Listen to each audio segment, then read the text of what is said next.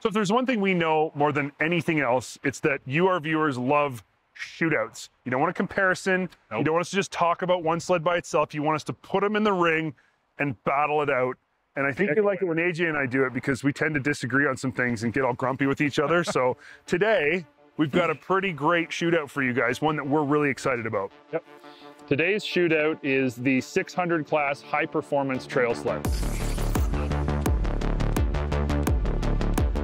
It includes the MXZ XRS 600 E-Tech. It includes the XCR 650 from Polaris and the all new Catalyst ZR from Arctic Cat with the 600 C-TEC2 in it. So let's get started. And which category, category do you want to start with? Uh, I think right away we got to talk about engine performance Yeah. because that's the big one. The 600 XRS, the motor has not changed. It's the same as it's always been in the 600R, and it's it's a solid contender. It's very clean. It uses fuel very very wisely. it sips oil, um, and it Runs clean- like a top. yeah, runs like a top, cleanest in the business, and probably I would say the most reliable overall. It's shown great reliability in the long run. Not that there's been an issue with others, but that's a great motor. It's an extremely refined motor, Yep. but it's not an exciting motor. Yeah. And I think, you know, There's nothing bad, but there's nothing terribly awesome about it either. yeah, there's nothing that stands out. This is without a doubt the fastest spooling engine I think I've ever ridden. I mean, Yeah, it it gets good. it just spins up so quick. Doesn't have a ton of bottom end, but the mid-range and top end is really meaty and really really strong. Yeah, really strong. And hands down, it's the best sounding two stroke Um, yep. in the business Absolutely. right now. Yeah, Yep. definitely the best sounding two stroke. It's got a throaty, kind of raspy sound, a lot of induction noise. I really like it personally. If you're a real motorhead, if you're a ZR buyer, if you're an XCR mm-hmm. buyer, if you're an XRS buyer, chances are you're the kind of guy who's going to appreciate a brappy motor that has an angry sound to it. Yeah. And that one absolutely does. Yeah. Now we move on to the XCR. This motor is, it just has wide range of Yeah. power. The power starts at engagement and goes to full shift. Yeah, from from initial throttle input, it definitely feels pretty stout down low, but it's that kind of mid-range where you get on the pipe and it really comes alive, and it just seems like it has more than both of these motors. At three-quarter throttle, there's still something there. It's like, I wouldn't say this is the most refined, although it is extremely smooth. It is. It's It- very like in the sled, it's very smooth. Yep. Um, it's not the cleanest, but it's very clean. And it starts and runs every time. It's never given us any trouble, never given us any reasons to worry about it. So Yep. it's a really set, stout, solid motor that's proven. It's been around for a bunch of years now. Yep. Nothing bad to say about it. And I think that's why in this category it gets the win. Polaris is number one because it just has the best power. That's all It there is does. to it. Can we agree that it'll be one, two, three? Yeah, I think so. Yeah. Yeah. All right, so that's category one. let's move on to the next category. Ergonomics. To start off, let's start with the Arctic Cat. I mean, the Arctic Cat is the newest. It's the, it's a new chassis, so this is something we've never ridden mm. before. And man, does it ever fit right? Arctic Cat has done such a good job of figuring out how a rider needs to interact with a snowmobile. That's it. Yeah, the center narrowness of the seat is the most like a motocross bike of any snowmobile I've ever ridden. Polaris came out with a narrow seat and said, this is more like a dirt bike. Arctic Cat comes out and they go, oh yeah, check this out. this is way more like a dirt bike. And the one thing I find ergo-wise that is super huge, and I think you're gonna probably back me up on this, the side panels aren't that exciting looking. They don't have extra plastics. They don't have painted stuff. They don't have an extra insert. They don't have buttons. They don't have this and that. They're smooth. But when you want to put your leg out there and slide into the front of the panel and get into a corner and really, really go at it aggressive, there is nothing to catch your knees You know, on. that's something I hadn't thought of about all the extra stuff that's on these panels that make them look cool. Yeah. But actually, they're the things that make it hard on your knees when you're sliding back and forth. You're absolutely right. You're right. That's not an exciting looking panel in that area, but boy, does it work good. When you want to move and talk about a Polaris, this has been the benchmark of ergonomic perfection for many years. We've, Yep. we've all agreed this thing is near perfect, mm. and it good. hasn't changed. It's the same. Yep. It's still excellent. I actually really like the Polaris. I like the way it fits. The one thing that bothers me is when I slide my knee into this panel, it has ridges and areas. Didn't bother me before, but it does now. I know. Yeah. I- before I thought it was great because it's it's one step, in my opinion, better than the Skidoo Yep. for getting off the side of the sled. But now this is one step better than what was the best. So, I, I mean, really, I think that sums up this category does. But it's Well, and the other thing to consider is one thing that I look for is that feet to knees to hip Yep. sort of arrangement. How are you sitting? How is your body positioned in those in those pivot points in your body? And Polaris has always had that perfect sort of knee to hip ratio, your feet in the right order. Yeah. The Arctic Cat, I think, is as good. I don't think it's necessarily I- world's better, but it's as good. Yeah. The problem is that the Skidoo is nowhere near as Today good. riding, I felt the skidoo, felt like I was very low, like I sat with the bars up higher and I couldn't necessarily see the trail and the skis the same way as I could on the Polaris. The Polaris, I felt like I was higher up and I had more of an attack position. And the Arctic Cat, I felt like I was way higher up, but not at a high point where the center of gravity was No, that's affected. true. Yeah. Now, the Skidoo, you just made some perfectly valid points. I completely agree. The seat is a little soft, your bum is a little low, your knees are a little high.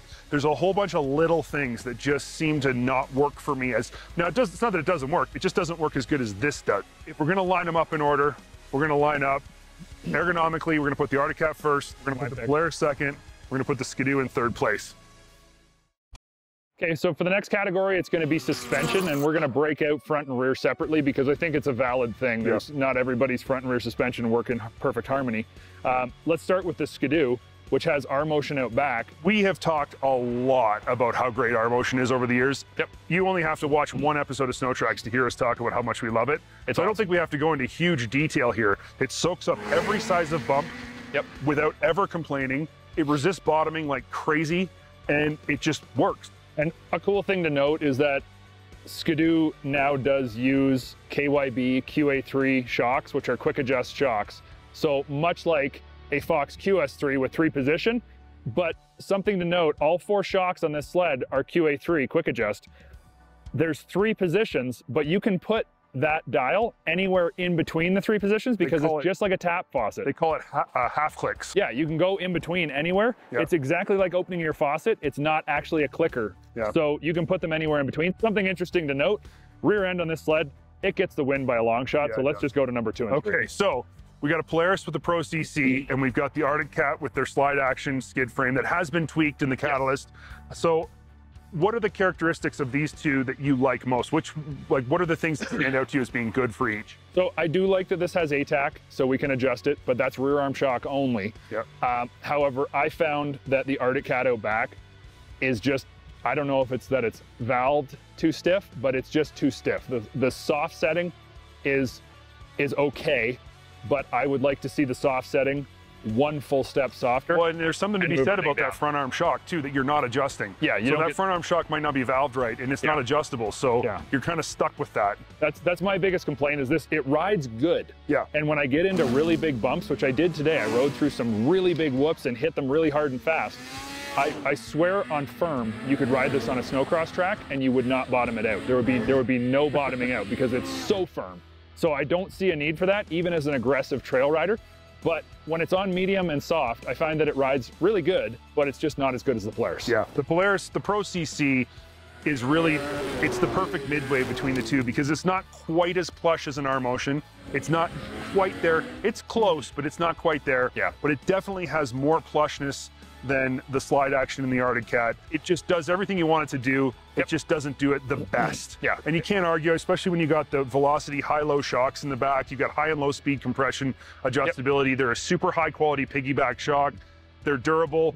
It just has everything you'd want. Yeah. I mean, so I think these sleds are lined up in order. yeah, it's first, One, second, third. two, three. Yeah, for sure. So the next category we're going to talk about, obviously, is going to be front suspension, and I think, I think we should talk about front suspension and handling because they are very much connected. I'm impressed with the front suspension, the calibration, and the way that it works. And ATAC really works good on this because it is both front shocks. So Yes. when you change it, you notice huge the Yep. difference in the front end. It works really good. I will say on hard packed snow, fresh groomed, frozen in the morning, this snowmobile pushes through the corners just a bit more than I would prefer.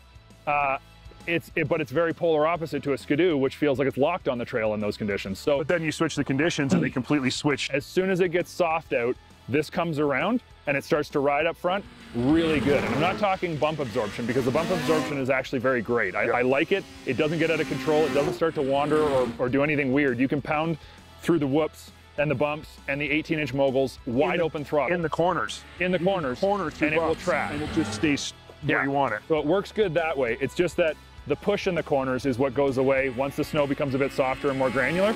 All of a sudden, this front end becomes like a really, really high contender.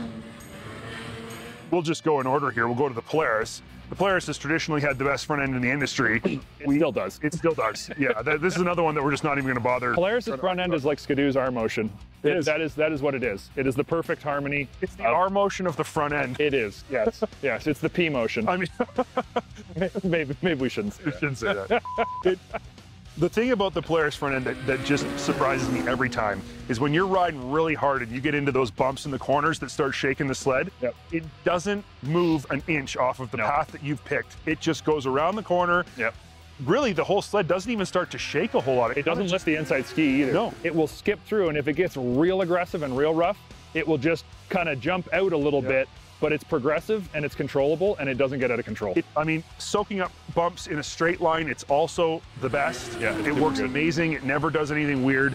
And then you come over to the Skidoo, which we have never held anything back about the fact that we're not crazy about this front end. But the thing that I noticed during our testing here uh, a little earlier when we were riding back to back was when you put this in the bumps and you start steering through bumps, the handlebars are doing this all the time. Yeah, like they're moving. It, it's not staying straight. It's going in different directions, and I'm not sure which one it's going to pick. Yeah, it's not the most confidence-inspiring front end. In my opinion, it just falls short of these two competitions. So we're going to line these up basically one, two, three. Yep.